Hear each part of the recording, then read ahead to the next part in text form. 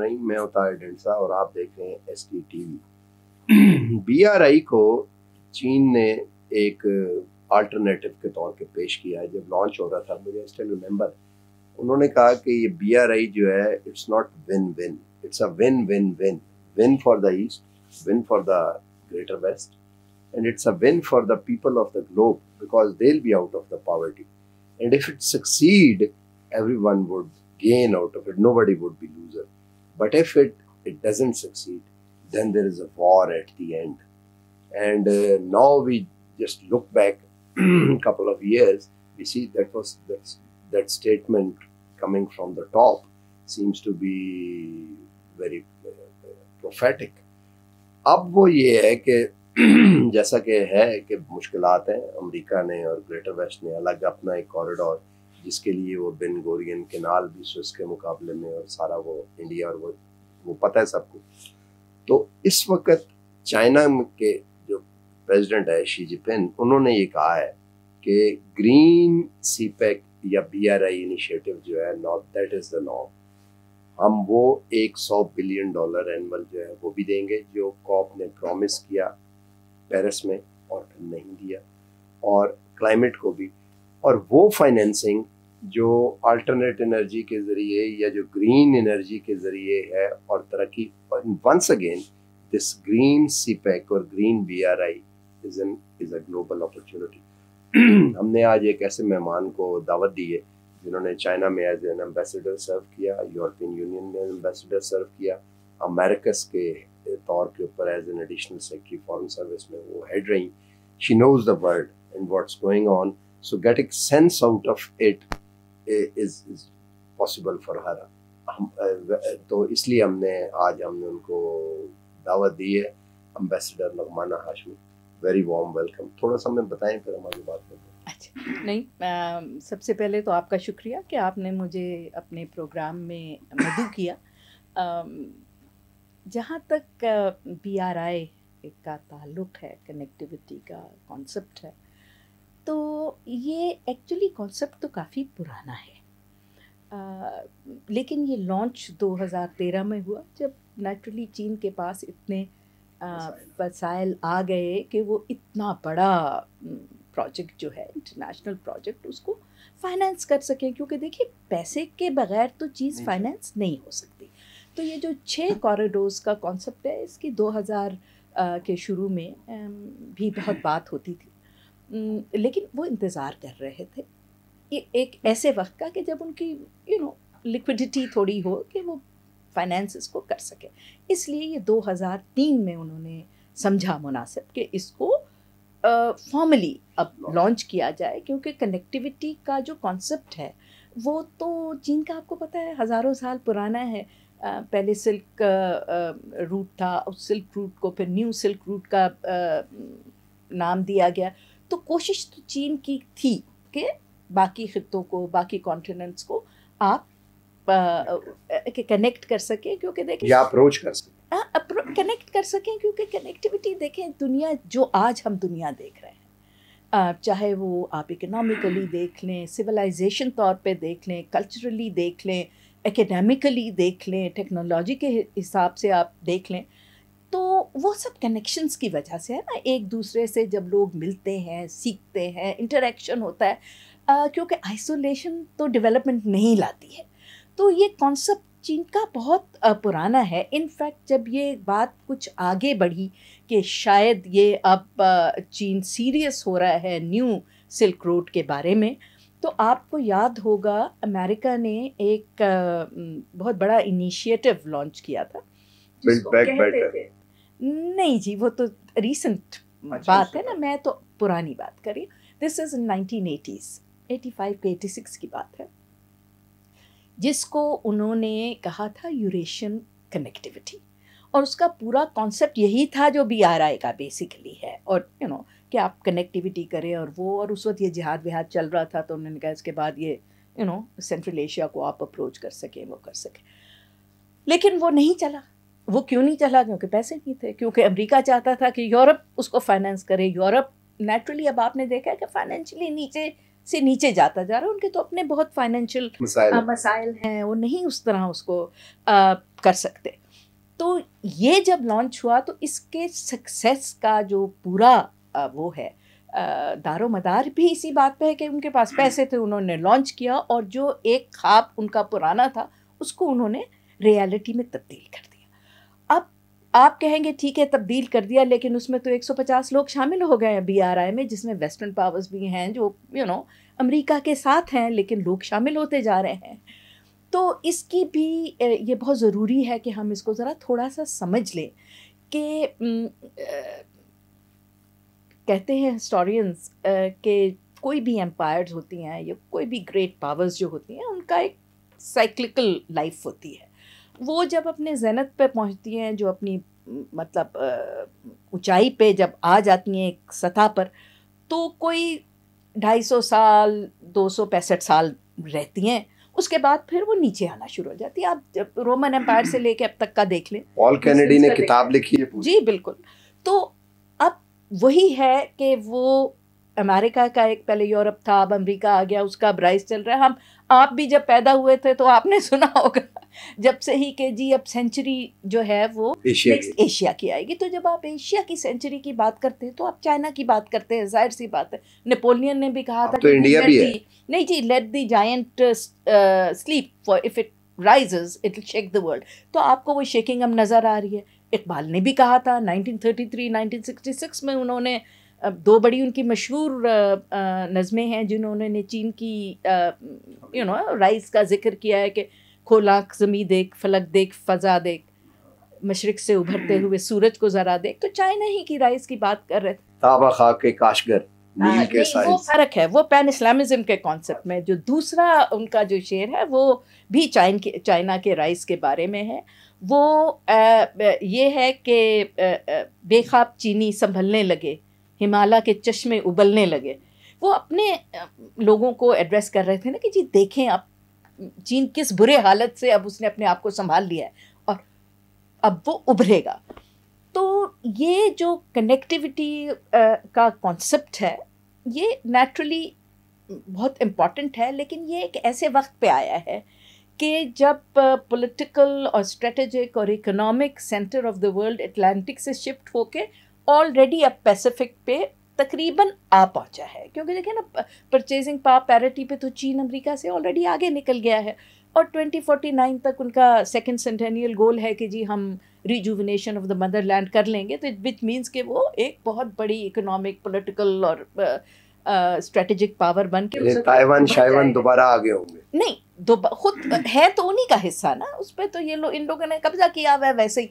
Because uh, strategic है वो वो एक और ही अलग डिबेट है लेकिन वो है तो इसीलिए तो uh, अमेरिका से ताल्लुकात जो हैं वो uh, उस्तवार हुए थे और यूएन का मेंबर बना था चीन क्योंकि इंटरनेशनल कम्युनिटी ये एक्सेप्ट करती है। uh, कि ये वन चाइना है। वन चाइना पॉलिसी ही पे सारे दुनिया but what I am trying to say कि अब वो एक कंपटीशन और एक वो हो गया है।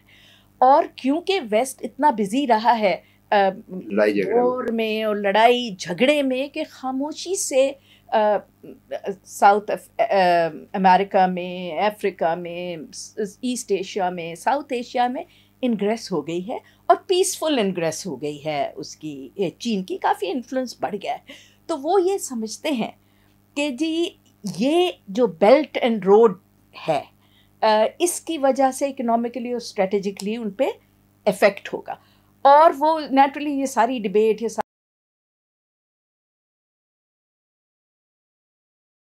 रोक तो सकते नहीं है डिले डिले कर सकते हैं। तो उस कॉन्टेक्स्ट में आप देखें तो बहुत सारे क्रिटिसिज्म बी आर आई पे होता है स्पेसिफिकली सी पैक पे होता है जिनमें से एक बहुत बड़ा क्रिटिसिज्म एनवायरनमेंट का है। और सी पैक पे ख़ास तौर पे ज़्यादा तवज्जो इसलिए आती है ये आपके नाजरीन को आई थिंक थोड़ा सा समझने की ज़रूरत है कि ये सिर्फ़ छः कॉरिडोर्स हैं जिसमें से पाँच ईस्ट वेस्ट हैं या वेस्ट ईस्ट हैं। और दुनिया में बाकी ये नॉर्थ साउथ ये नॉर्थ साउथ है। और इसी की वजह से बीआरआई जो है वो सक्सेसफुल होगा। क्योंकि अगर ये रूट आपका नहीं बनता तो आपका रास्ता ही छोटा वैसे भी देखें ना बाकी सारे जो हैं वो एनर्जी दूसरी तरफ़ से आ रही है। ये वायद है जिसमें एनर्जी रिवर्स है। इधर से चाइना को जा रही है। तो इसलिए इसके ऊपर बहुत क्रिटिसिज्म आता है। और इसको चाइना कहता भी है कि जी ये पायलट प्रोजेक्ट है। इस ये कामयाब हुआ तो बाकी भी बहुत अच्छे कामयाब हो जाएँगे, चल रहे हैं। दूसरा ये है कि ये सिर्फ़ वाहिद कनेक्टिविटी का प्रोजेक्ट है जो बायोलेटरल है, बाकी तो मल्टीलेटरल है। तो बायोलेटरल करना आसान होता है। तो अब जब एकदम से इन्होंने रियलाइज़ किया स्पेशली ये जब कोविड के बाद से कि भाई ये जो इनका ऑल्टरनेट पॉलिटिकल सिस्टम है गवर्नेंस सिस्टम है, ये सब, ये काम करता है, ये सक्सीड कर गए हैं। और चाइना ने अपना फ़र्स्ट सेंटेनियल गोल जो है वो 2020 में अचीव कर लिया which was eradication of absolute poverty तो फिर थोड़ा सा होश आया। एकदम से अमरीकनों को भी वेस्ट को भी और उन्होंने अपना प्रेशर बहुत ज़्यादा that is why you see the China containment act in तो अब मुख्तलिफ़ मुल्कों में पॉलिटिकल भी चेंज हो रहा है। हो है वो अपना इंक्लूडिंग अस हाँ staying to the environment side of it तो उसमें अब बाकी क्रिटिसिज्म तो चल रहे हैं डेट ट्रैप ये वो, लेकिन क्लाइमेट का कंसर्न अब एकदम से उभर के साथ। तीस साल से क्लाइमेट की बात हो रही थी, लेकिन अब क्लाइमेट एकदम से दुनिया ने रियलाइज़ फुली कर लिया है कि ये एक रियलिटी है और इससे बहुत ज़्यादा तबाही आ सकती है और फ़र्क पड़ सकता वैसे वहाँ पे कॉप में तो वो डट गए हैं कि हमने फॉसल फ्यूल इस्तेमाल करते रहना। डू व्हाट लेकिन मैडम ये बताएँ कि मैं ये अपनी आर्ग्यूमेंट अच्छा। थोड़ी सी एक, एकदम कंप्लीट कर लूँ। तो इन्वायरमेंट की तरफ़ वो बहुत तवज्जो आ गई है। विद द रिज़ल्ट और ख़ास तौर पे क्योंकि पाकिस्तान आ, उन दस ममालिक में आ, शामिल है जो मोस्ट वनरेबल हैं। जहाँ क्लाइमेट चेंज के इफ़ेक्ट्स बहुत ज़्यादा शिद्दत से महसूस हो रहे हैं और आगे और शिद्दत से महसूस होंगे। तो ज़ाहिर सी बात है एक क्लाइमेट कंसर्न एक पाकिस्तान की वनरेबिलिटी ये एक बना बनाया उनको आ, मसाला मिल गया है कि जिस पे वो सीपैक को क्रिटिसाइज़ करते हैं कि जी इतनी ज़्यादा हैवी जब एनर्जी के प्रोजेक्ट्स होंगे इंफ्रास्ट्रक्चर प्रोजेक्ट होंगे लगाए तो भी कोयले के हमने? हाँ काफ़ी देखिए ट्वेंटी एट परसेंट कोल है। Let's be realistic about things propaganda काफ़ी ज़्यादा होता है। और दूसरी ये बात है कि ये भी जो कोल के लगे हैं ये टेक्नोलॉजीज़ अब बहुत एडवांस हो गई हैं। अब देखिए ना थर कोल में भी जो प्रोजेक्ट लगा है वो न्यू टेक्नोलॉजी के ऊपर लगा है। तो उससे उससे उतना अब इफ़ेक्ट नहीं हो रहा। और जैसे जैसे टेक्नोलॉजी आगे बढ़ेगी तो हो सकता है कोल बिल्कुल ही न्यूट्रल हो न्यूट्रल हो जाए तो। लेकिन उस तरह जो ओल्ड टेक्नोलॉजी के कोल पावर प्लांट्स नहीं लगे। इसी तरह जो इंफ्रास्ट्रक्चर आपके बने हैं रोड्स बने हैं ब्रिजेस बने हैं उनमें भी अगर आप देखिए तो ये क्रिटिसिज्म था कि जी इससे लोग डिस्प्लेस होंगे सोसाइटीज़ डिस्प्लेस होंगी और इकोसिस्टम होगा। हाँ इकोसिस्टम फ्लोरा फोना आपका डिसरप्ट होगा इकोसिस्टम डिसरप्ट होगा। लेकिन आपने देखा कि उस तरह की कोई चीज़ नहीं नहीं इसलिए कि यू हैव टू सी कि चीन का अपना फ़लसफ़ा क्या है। चीन का फ़लसफ़ा जिससे उन्होंने चीन को क्लीन किया ना। देखें मैं तो चीन में बहुत साल पहले भी थी बीस साल पहले भी चीन में थी तो आपको सितारे नहीं नज़र आते थे बीजिंग में अगर आप होते थे तो। की वजह इस दफ़ा जब मैं गई तो मैंने इतने सितारे देखे ही कहीं नहीं। तो उन्होंने मतलब एक डाइवर्सिफाई किया उसको निकाला स्टार स्टडेड हो गया स्टार स्टडेड हो गया वो। तो इसी तरह क्योंकि उनका एक फ़लसफ़ा है पीछे। उनका फ़लसफ़ा है कि जी lush lush lush mountains and lucid waters which means के आपकी डेवलपमेंट के साथ साथ आपकी एनवायरनमेंट को उन्होंने लिंक कर दिया है। कि आपकी डेवलपमेंट ऐसी होनी चाहिए कि आपके पहाड़ भी ग्रीन हो और आपके पानी भी जो हैं वो ल्यूसिड हो और हेल्दी हो और क्लीन हो। तो वही फ़िलासफ़ी लेके वो आगे चल रहे हैं। अब देखिए ना, उन्होंने दुनिया का एक और मेरेकल कर दिया है। उन्होंने हज़ारों मील की एक किलोमीटर चौड़ी ग्रीन वॉल बना दी है। तो अब वो जो है गोबी डेजर्ट से जब वो आते हैं रेत के तूफ़ान तो वो उसकी मेन सिटीज़ को पर्टिकुलरली बीजिंग को नहीं अफेक्ट करते जो एक बहुत बड़ा मसला था। और वो हर चीज़ में मंगोलिया गोभी गोभी से गोभी से उठने वाले रेत के तूफ़ान। अच्छा ये बताएँ कि ये जो ग्रीन बी आर आई और सीपेक का ज़िक्र है क्या ये यही है? जी ग्रीन खास तौर पे मैं इसलिए कह रहा हूँ हाँ कि वो प्रेसिडेंट ने इस दफ़ा जो उनकी वो हुई उसमें उन्होंने ये भी कहा कि जो हंड्रेड बिलियन उन्होंने प्रॉमिस किए थे नहीं दिए थे वो भी हम इससे दिए करें। जी बिल्कुल। वो उन्होंने अभी ऐलान किया है और उन्होंने ये भी कहा है कि जी आ, हम आ, 2030 तक जो है वो कम्प्लीटली ज़ीरो एमिशन पे चले जाएँगे। और आप अगर उनके डिटेल में जाएँ टाइम इतना नहीं होता कि मैं आपको तफसील बताऊँ बट उन्हें बहुत ज़्यादा इनिशिएटिव्स लिए हैं जो ये हैं। जहाँ तक सी पैक का सवाल है तो उसमें भी आप देखें कि करोड़ हाइड्रो पावर प्रोजेक्ट जो है वो कम्प्लीटली ग्रीन प्रोजेक्ट है। इसीलिए वर्ल्ड बैंक भी उसमें शामिल हो गया एशिया डेवलपमेंट बैंक भी शामिल हो गया। अब वो आ, कितनी एनर्जी बना रहा है और वो पूरे एरिया जो है उसकी तकदीर ही बदल गई है।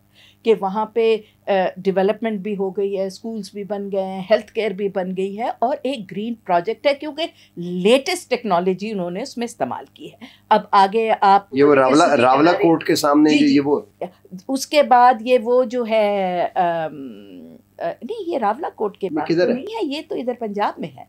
कोटली सत, हाँ, कोटली सतियों परली तरफ़ रावला कोर्ट है अच्छा वही एनी anyway, तो वो करोट में जो इन्होंने बनाया करोट हाइड्रो प्रोजेक्ट इसी तरह आप देखें सुखी कनारी है आज़ाद पतन है बनने वाले हैं ये सारे लेटेस्ट टेक्नोलॉजी पे बने हैं तो इससे आपकी एनवायरनमेंट पे कोई फ़र्क नहीं पड़ा। कोर पावर प्लांट भी जो है वो अव्वल तो उन्होंने अब ऐलान कर दिया है कि 2021 में उन्होंने ऐलान किया है जी हम किसी किस्म का अब कोई कोल पावर प्लांट जो है बैरून ममालिक नहीं लगाएँगे। और जो इंडस्ट्रियल रीलोकेशन भी होगी जो हमारे स्पेशल इकोनॉमिक जोन्स में और जो साउथ ईस्ट एशिया में, दुनिया में हो रहा है तो उसको भी नई क्लीन टेक्नोलॉजी के तहत अपग्रेड करके तो वो रीलोकेशन होगी। तो बहुत बड़ा वो कर रहे हैं। दूसरा जो एक अहम इसमें फाइनेंसिंग में है, देखिए खाली फाइनेंसिंग से तो मसला हल नहीं होता। उसके पीछे आपको एक पूरा इकोसिस्टम चाहिए। जैसे एसटीपीआई ने भी और ये पाक चाइना इंस्टीट्यूट ने मिल के वो एक एग्रीमेंट भी साइन किया है ग्रीनिंग ऑफ़ सी पैक के बारे में। तो उसमें भी तो देखिए क्या है? उसको अगर आप बगौर जायज़ा लें तो क्या खाली पैसे मिल जाए तो उससे बात बन जाएगी? नहीं। हाँ, आपको अपनी पॉलिसी में चेंज लानी पड़ेगी। बिल्कुल। आपको अपनी पॉलिसी को जहाँ से इन्वेस्टमेंट्स आती हैं, उनकी पॉलिसी से कोऑर्डिनेट करके उसको इन्वायरमेंटली ग्रीन और फ्रेंडली करना पड़ेगा। आपको जो इंडस्ट्री है, जो स्टेक होल्डर है, इसमें उनको ऑन बोर्ड लेना पड़ेगा क्योंकि देखिए क्लीन एनर्जी तो आ सकती है रिन्यूएबल एनर्जी भी आ सकती है, लेकिन उसकी कॉस्ट कितनी ज़्यादा है? तो वो इकोनॉमिकली फिर फीजिबल नहीं रहती, जिसकी वजह से इंडस्ट्री बहुत रिलेक्टेंट होती है। तो आपको अपनी पॉलिसी में अमेंडमेंट लानी पड़ेगी आपको अपनी इंडस्ट्री को अलाइन करना पड़ेगा कि जी ये अब करना है। उसके बाद आ, आ, आपको ये भी देखना पड़ेगा कि जो फाइनेंशियल इंस्टीट्यूशंस हैं उनसे आप किस तरह नेगोशिएट करते हैं कि वो आपको ग्रीन फाइनेंस के लिए फिर पैसे दे दे कि आज आप कहते हैं कि जी पाकिस्तान में सारी जो इंडस्ट्री है वो सारी क्लीन हो जाए। सारी जो है रिन्यूएबल एनर्जी पे चली जाए, सारी नई टेक्नोलॉजी ले आए जाए कहाँ से आएगी? कहीं से आपको पैसे मिलेंगे और जो नई इन्वेस्टमेंट हो रही है, उसके लिए भी अगर वो ग्रीन आपने लानी है तो नेचुरली ज़्यादा थोड़ी एक्सपेंसिव होगी। तो उसके लिए आपको ना सिर्फ़ इंटरनेशनल इंस्टीट्यूशन से, अपने पॉलिसी मैकेनिज़्म से सब स्टेक होल्डर्स को साथ लेके चलना पड़ेगा। तो ये एक पूरा इसमें आप समझती हैं। थॉट प्रोसेस जो है। के लिए अपॉर्चुनिटी है ये येट फॉर अनदर टाइम नहीं जी बिल्कुल अपॉर्चुनिटी है। और इसलिए है कि अभी जैसे मैंने ज़िक्र किया बहुत सारे प्रोजेक्ट्स जो हैं वो आपके ऑलरेडी ग्रीन उस पे बेस पे चल रहे चल रहे हैं। और आप ये जो कोऑपरेशन सी पैक के अंडर हुई है उसमें एक मेजर ट्रैक जो है जो ग्रीनिंग ऑफ़ सी पैक को आ, में बहुत मदद करेगा वो किस चीज़ का है? वो एग्रीकल्चर का है। तो एग्रीकल्चर में जो बहुत इन डेप्थ आपकी कोऑपरेशन चल रही है चाइना से वो सबसे बड़ा एलिमेंट है उसको ग्रीन करने के लिए। अब आपका आई एम श्योर ज़रूर जाना हुआ होगा। बट मेरा तो गवादर बहुत दफ़ा जाना हुआ है। और हर दफ़ा जब आप जाते हैं तो आपको उसको ग्रीन से ग्रीन तर देखते हैं। बड़ा मेरिकल है। मेरे मेरा बलोचिस्तान का मेरी पैदाइश कोयटा की है। तो बोलान वैली को ग्रीन देखना जो है ये तो मेरिकल है।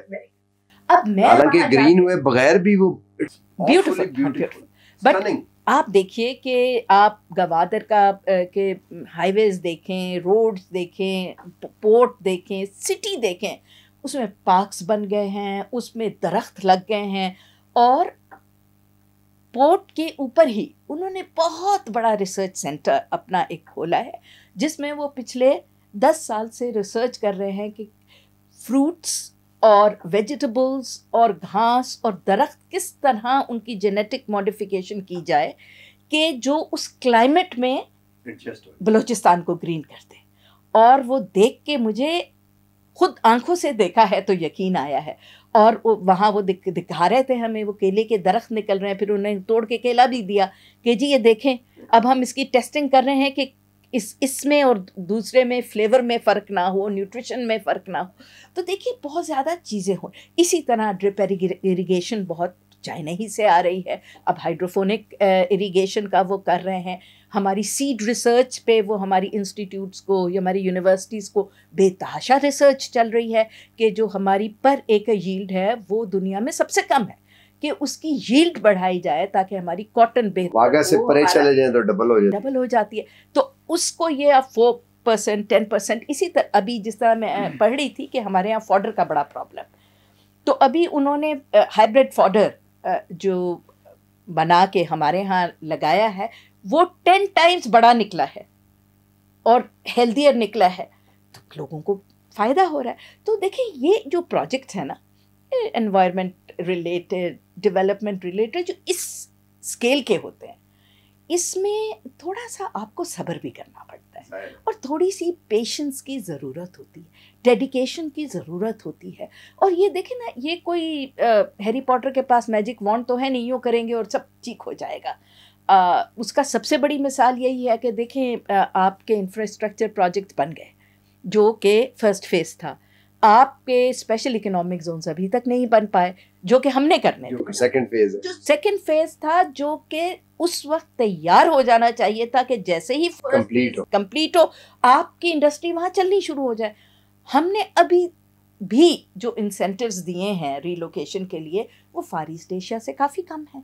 यू you नो know, हम पाँच साल का टैक्स हॉलीडे दे रहे हैं वो बीस साल का टैक्स हॉलीडे दे रहे हैं। तो देखे ना कॉन्सेप्ट तो ये था कि जी पाकिस्तान गवर्नमेंट्स जो हैं वो भी बिल्कुल वो तैयार करके रखेंगी अपने स्पेशल इकोनॉमिक जोन्स को। वहाँ बिजली भी होगी पानी भी होगी गैस भी होगी लैंड भी जो है वो प्लेन हुआ होगा ग्रे स्ट्रक्चर्स बने हुए होंगे इंटरनेट होगा आप प्लग एंड प्ले करेंगे। तो नहीं हुआ। तो अब शुक्र है कि दोबारा ज़रा थोड़ा सा आ, उस सेकंड फ़ेज़ ने आ, वो किया तो है। बट ये टाइम लगेगा। देखिए टाइम लगेगा। बड़ी गुड न्यूज़ है कि कम से कम एलिमेंट ऑफ़ होप तो है। फ़ेज़ टू का टाइम पे तैयार ना होने की सबसे बड़ी मुझे परेशानी तो ये होती है कि वो जो 26 से 23 बिलियन डॉलर की इन्वेस्टमेंट है वो परफॉर्म नहीं कर रही। देखिए ये बड़ा ये भी मैं थोड़ा सा आपको क्लैरिफाई कर दूँ कि 38 बिलियन डॉलर्स जो थे ना वो इंफ्रास्ट्रक्चर और एनर्जी वो स्पेंड हो गए ठीक है? अब 28 29 बिलियन डॉलर्स आपके पास पड़े हुए जो सेकंड फ़ेज़ के लिए है और वो सेकंड फ़ेज़ में किस तरह इस्तेमाल होंगे वो अब जैसे आपको पता है सीपीएफ का सारा तो सेलर्स क्रेडिट है ना? उनकी कंपनियों को वो क्रेडिट देते हैं, वो यहाँ इन्वेस्टमेंट करते हैं, उससे फिर वो अपना रिटर्न लेते हैं। तो अब ये जो सेकेंड फ़ेज़ में इंडस्ट्रीज़ रीलोकेट होंगी, वो क्रेडिट उनको मिलेगा ना? तो वो तो अभी इन्वेस्ट पूरा हुआ ही नहीं, वो तो ऑपरेशनलाइज होंगे, सारी सारी इंडस्ट्रीज़ आएँगी तो वो होगा। लेकिन वो जो आपने इन्वेस्टमेंट की है फॉर एग्जांपल रोड्स में और गवादर पोर्ट में और सब जगह, वहाँ से क्या आप भेजेंगे जब इंडस्ट्री बनेगी यही मैं कह रहा हूँ ना परफॉर्म करेगी वो जो जो एट बिलियन आपने लगाए हैं वो उसी वक्त होगा एनर्जी कहाँ जाएगी? एनर्जी आपने सिग्नेचर कर लिए कैपेसिटी के ऊपर। उन्होंने तो अपनी कैपेसिटी पे बना दिए आपको जो भी एनर्जी के प्रोजेक्ट्स थे। लेकिन आपने आगे कनेक्शन लाइंस नहीं दी डिस्ट्रीब्यूशन लाइंस नहीं आपने बनाई जो एक्चुअली यूरोप और अमेरिका ने पैसे देने थे उनके भाग गए वो उन्होंने तो दिए कोई नहीं अब वो आ रहा है स्मार्ट मीटरिंग है तो आपने एनर्जी बना ली है लेकिन लिंक रोड्स नहीं है कहाँ है आपका इंफ्रास्ट्रक्चर बलूचिस्तान में गाँव में किधर आपकी इलेक्ट्रिफिकेशन हुई है? तो जो बन रही है बिजली वो कहाँ जाएगी? हाँ ज़ाहिर है वो आपको कैपेसिटी पेमेंट करनी पड़ेगी। कैपेसिटी पेमेंट करनी तो पड़ेगी। तो वो बिल्कुल आपको प्रॉब्लम ना होती।